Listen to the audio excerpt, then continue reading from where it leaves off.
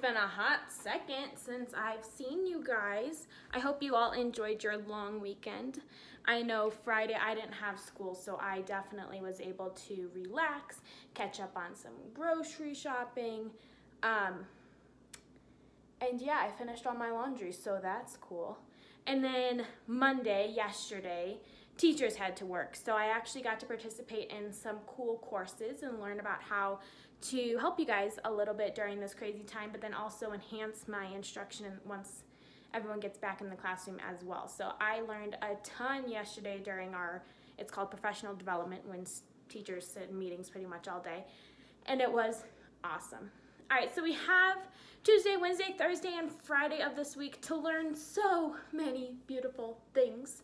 Um, I've attached to this email um, another sign-up sheet if you guys want to do some one-on-one -on -one Google Hangouts with me, so make sure that you sign up for a time on that. Um, and yeah, so today what your job is, is first, for reading, I want you to start reading. Let me go get my book. I should have grabbed it before this. I'm sorry, guys. One second.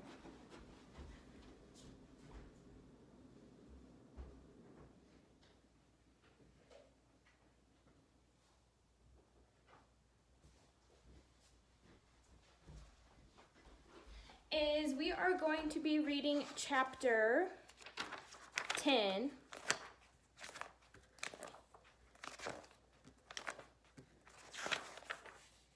Just kidding. Yeah, 10. I passed it. Wow, I probably should have set this up before I started recording, but it's okay. All right, chapter 10, Territory to Statehood. That is what we are going to be reading today. I want you guys to read page 129, 130, 131, 132, and stop where it says early transportation right here. So you're gonna read, there's no heading blocks, so read from the beginning of the chapter to here. Stop when you get to here, all right? Um, last time I recorded, I saw that um, one person watched it.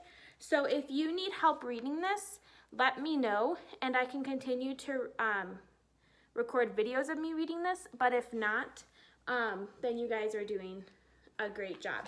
So just read that up into early transportation. And then that's all the literacy we're gonna do today because I know all the feedback said that the social studies stuff was pretty hard. We're gonna read this chapter in three days.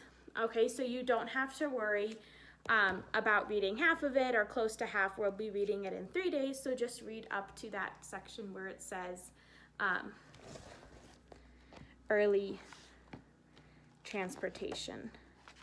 I think that's what this section was called.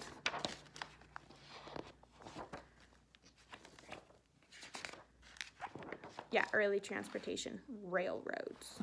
All right, so, and then for math today, I want you guys to do the um, assigned iReady lesson, all right?